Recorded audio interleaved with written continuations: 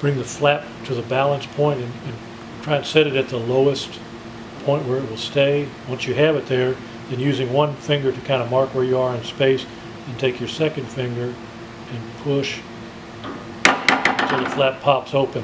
What you're looking for is a, a gap between the tip of this finger and the tip of this finger of an inch or less. And what we're doing here is making sure the flap is free to operate, so it's not binding as you open and close it.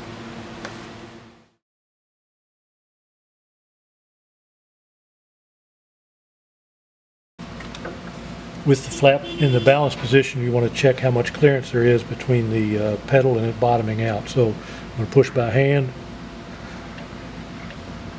And you can see I'm able to push down uh, fairly firm and able to get it to contact right here, which is the bottom out position. That's, that's as low as you would like to have the pedal and it's, it's about right because you want the pedal to bottom out before all the pressure goes on the cable itself. So that's a pretty good spot right there.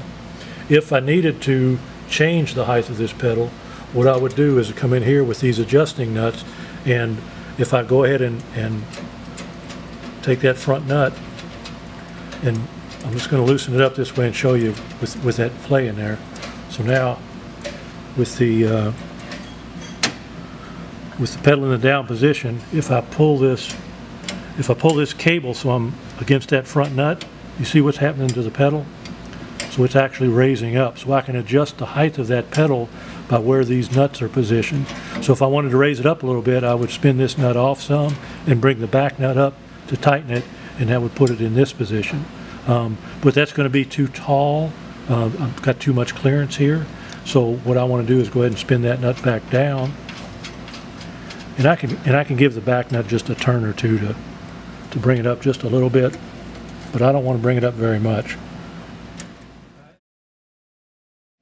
Now we have everything in place. We have the uh, pedal height adjusted.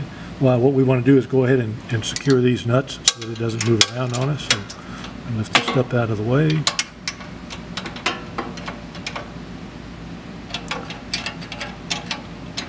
And, and once again, these don't have to be super tight, just enough that they don't come loose in operation. So we've got this one done, and then, uh, we want to go ahead and do the other end. Make sure the jam nuts are tight on the flap end as well. Again, they don't have to be over tightened, and be sure that the boot is pushed in place.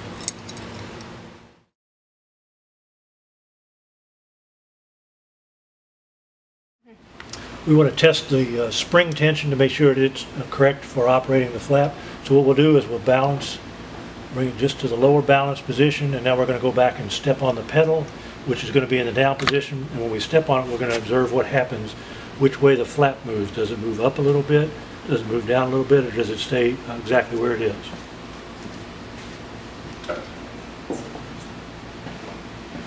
So you can see when I, when I stepped on it, it it crept forward, or crept toward the open position just a little bit, and now it's stuck. No matter how many times I push on the pedal, I can't get it to move. And it finally kicks over.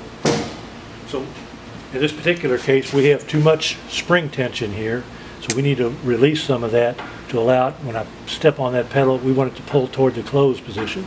So in order to adjust that spring, what you're going to need is a uh, wrench and then a, a pair of pliers to grab the end of this bolt. And in this case, we've got too much tension because it's trying to pull it to the open position. So what I want to do is, is release some of that tension. So I'm going to back the nut off.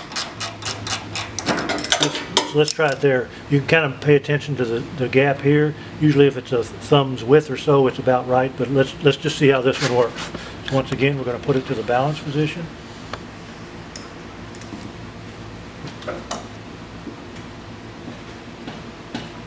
So as I'm pushing on the pedal, I'm not, I'm not getting it to move anywhere, so I still don't, I still have too much tension on the, uh, on the spring. So I'm going to back it off a little bit farther.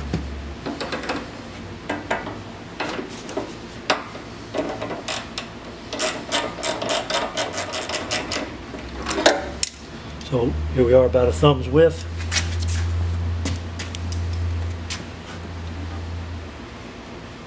To the balance position.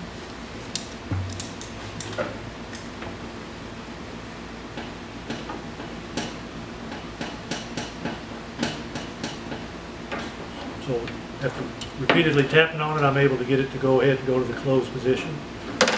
So that's pretty good. That's a pretty good spring tension spot. Uh, keep in mind that as you start mowing and that, you're gonna get dirt and grass on here, so it's gonna make this a little heavier, which will make it a little bit easier to fall to the closed position.